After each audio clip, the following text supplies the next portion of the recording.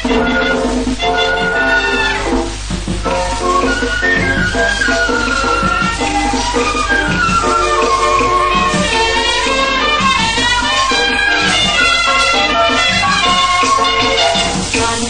dari hati suci, kelingannya berarti, imbauan dari hati bersih ini, pandang kasih, kenapa Tuhan yang Yeah.